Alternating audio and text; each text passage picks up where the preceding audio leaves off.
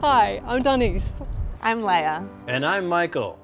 We're the team from Lava Mae, a mobile shower service for the homeless. And, and we, we believe that, that everyone has, has the right, right to be clean. We also believe that with hygiene comes dignity, and with dignity, opportunity. Last year we ran a very successful Indiegogo campaign that funded the retrofit of our first bus. Two months ago, we launched our service. Since then, we've given over 500 showers to everyone from young homeless families to disabled homeless vets. It is really exhilarating to have a nice, clean shower and smell good all at the same time. I, I can only hope that when I get a place, my shower will be as nice.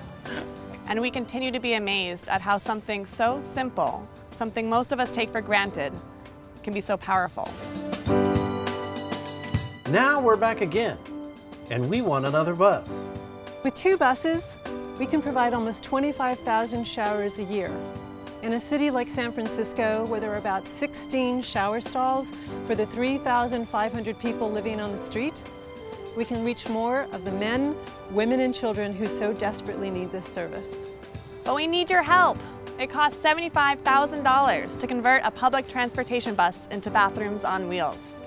If you believe like we do that everyone has the right to be clean, then make a contribution now.